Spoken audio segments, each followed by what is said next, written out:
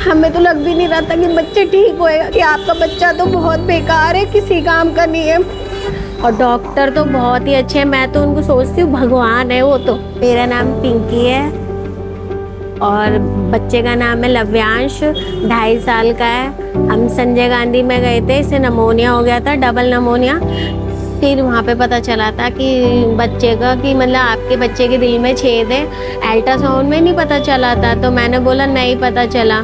फिर उन्होंने बोला कि अच्छा तो आ, आपके बच्चे के दिल में छेद लग रहा है। फिर उन्होंने ना हमें विकास कोहली सर के बारे में बताया कि एक डॉक्टर है हार्ट के साउथ एक्स की तरफ़। फिर आपको वहाँ पर जाना है दिखाने के लिए। फिर हम यहाँ पर आए दिखाने।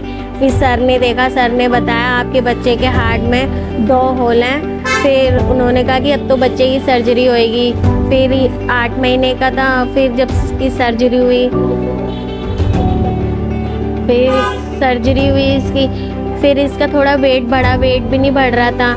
फिर जब ये दो साल हो सर्जरी को दो साल हो गई, फिर उसके बाद एक और सर्जरी हुई थी हार्ट की, छेद की। फिर उसके, अब सर्जरी होने के बाद अब बच्चा ठीक है। और जिन जिन लोगों ने सहायता करी, उनको धन्यवाद।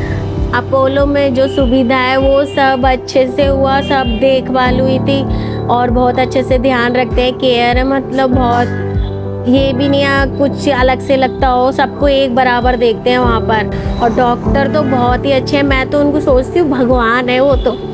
मतलब मुझे ऐसी लगता है कि मतलब उन्होंने भगवान है, हमें तो लग भी नहीं रहा था कि बच्चे ठीक होएगा, क्योंकि हॉस्पिटल में ये बता रहे थे कि आपका बच्चा तो बहुत बेकार है, किसी काम का नहीं है। बच्चे को ना घर ले जाओ।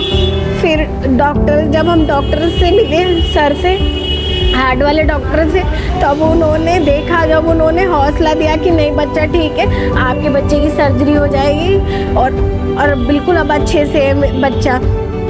और पहले बहुत छोटा सा था मतलब लग ही नहीं रहा था कि मतलब ये ऐसे लग रहा था जैसे डॉक्टर ने बोला कि मतलब अभी बच्चा मर ही जाएगा। और आज मेरे बच्चा हाथ में है, ढाई साल का, बहुत अच्छे से है। Thank you